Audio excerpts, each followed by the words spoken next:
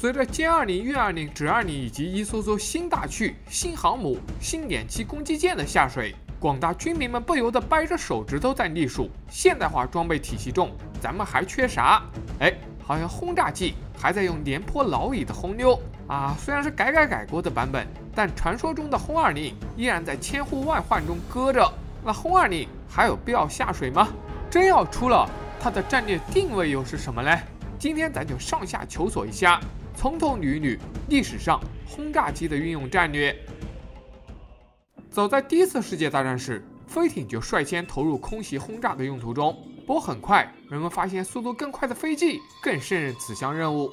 但有矛就有盾，防空炮和专门执行截击任务的战斗机也应运而生。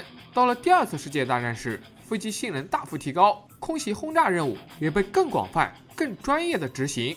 它包括对前线战场军事目标进行打击的战术轰炸，以及对敌国后方工业生产等非军事目标进行打击的战略轰炸。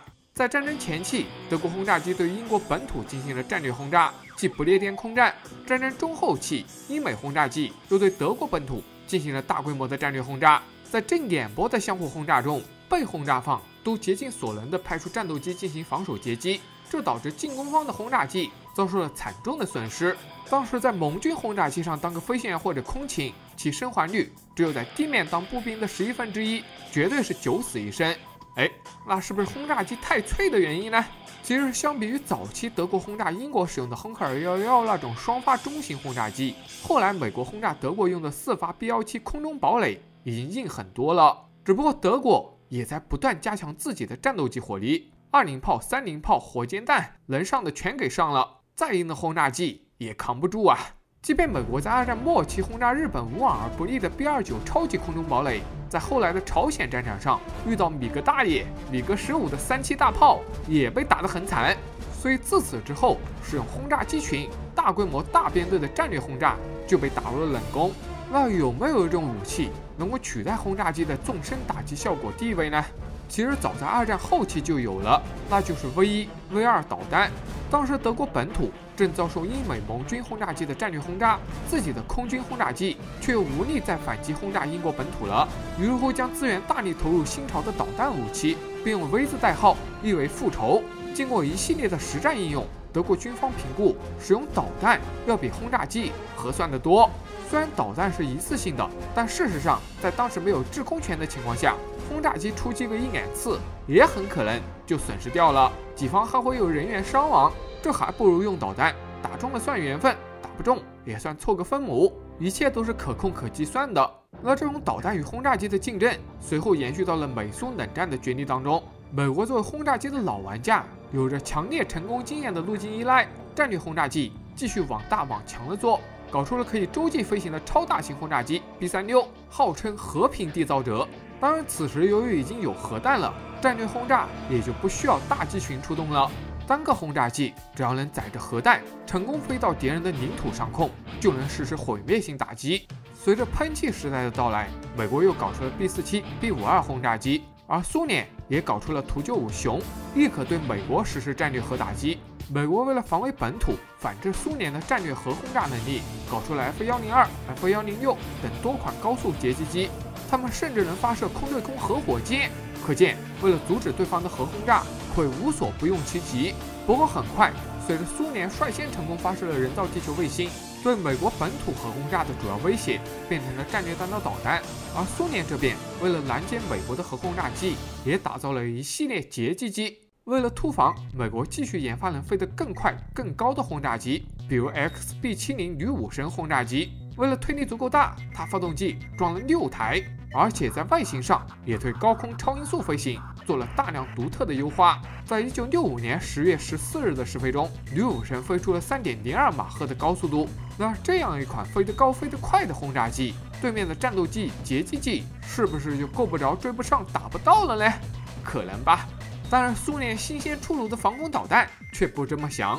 最终，鉴于这种不讲武德武器的存在，美国的轰炸机党提前梦醒，女武神项目最终被砍。那既然更高更快，飞机竞争不过导弹，能不能换个思路，搞到低空试一试呢？于是乎，使用可变后掠翼的 B 轰炸机项目开始搞起。不过这个项目也算是一波三折，经历了美国好几届总统对它的不同政策，从 BA 被砍到 BB 重生，主要纠结点还是跟各型战略导弹的性价比问题。而苏联也对标的搞出了图幺六零白天鹅，此机一直服役到今天，依然是俄罗斯战略核威慑力量的重要组成部分。而美国则是由 B 二接棒了空基战略核威慑力量。B 二采用隐身射击，不跟对面雷达导弹防空系统刚速度，而采用不知不觉、悄悄潜入的方式实现纵深打击。相比陆基、海基战略核导弹的那种唯快不破、开弓没有回头箭的核威慑方式，B 二和图幺六零成了能在最后一刻回头的灵活核威慑，让空基战略核力量有了最后的存在理由。不过，相比于海基和陆基战略核力量中流砥柱般的地位，空基核力量更像是锦上添花。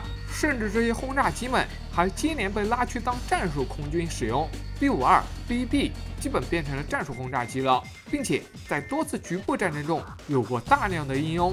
而 B 二也被用于了非战略核打击的用途。一九九九年对中国驻南斯拉夫大使馆的悍然轰炸，便是 B 二轰炸机使用杰达姆联合制导炸弹所为。而现在美军新研制的 B 二 E，算是在 B 二的基础上的简化版。其战略定位也颇为飘渺，在现代战场上，常规的战术轰炸用 F 十五、F 十六这种战斗机便可以完成。我们的歼十、歼十六也有着同样的功能。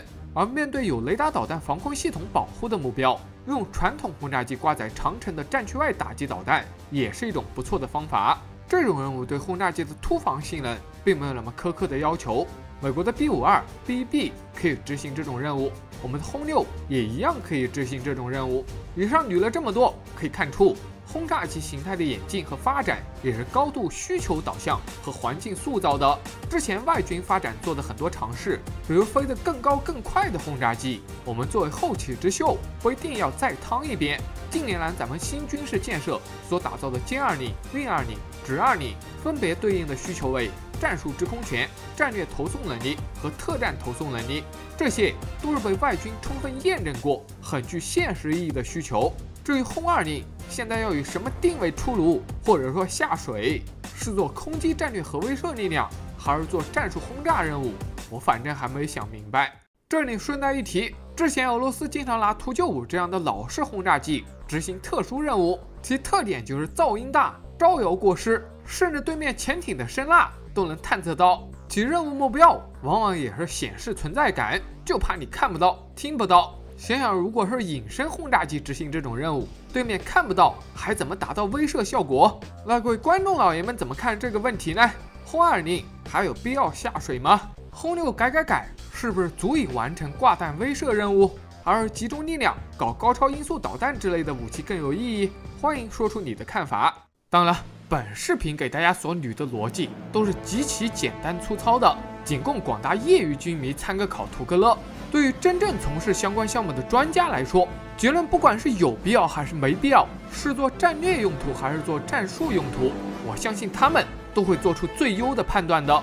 好了，本期视频就到这里。内容上有啥谬误和不足，欢迎各位观众老爷们指出。如果觉得还可以，别忘了素质三连。好了，本期视频就到这里，我是二六二，让我们下期再见。